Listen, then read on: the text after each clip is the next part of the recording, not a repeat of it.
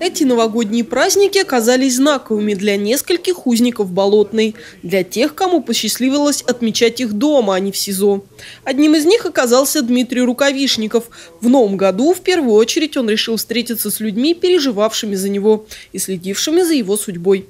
Первый вопрос собравшихся, что там с туалетами, почему нынче за них сажают. Как мне говорил следователь, э, когда эту кабинку передвигаешь по асфальту, металлические заклепки, которые на ней имеются, они вырывают пластмассу, вот, и, соответственно, кабинка приходит в полную негодность. И она исчезает.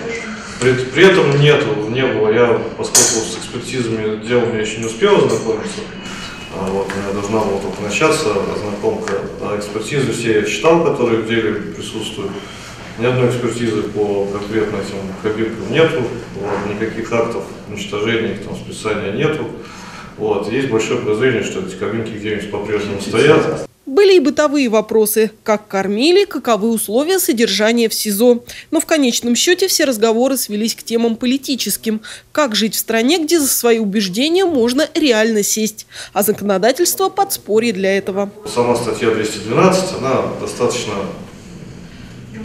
сама по себе противоправная, потому что она предусматривает сама по себе уже двойное наказание. То есть по основному составу все, что там перечисляется, участие, то есть там написано участие в массовых беспорядках, путем э, совершения насилия в отношении представителей власти, 318 статья, уничтожение имущества, 167 поджоги, погромы, то есть все это отмечено отдельными статьями УК, да?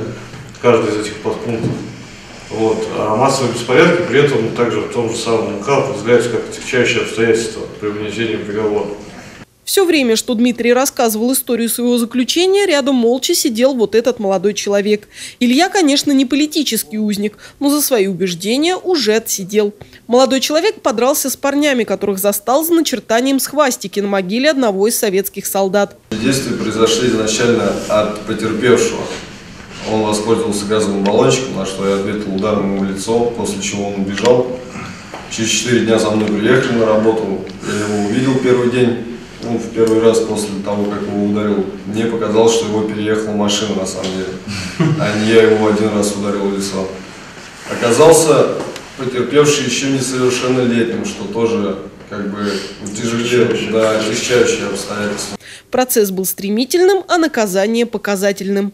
Проходит месяц, ждем как бы мирового суда, все нормально, как бы следователь говорит, все нормально, все говорят, все нормально, участковый говорит, все нормально. Через месяц приезжает Центр по противодействию экстремизму вчетвером, ко мне домой забирают меня, привозят в Ленинское отделение полиции, где уже потерпевшие дают совершенно другие показания. У меня на обыске дома нашли ракетницу, обычную ракетницу, не пистолет, а пусковое устройство, сигнал охотника, который там на празднике пускает там фейерверки и так далее.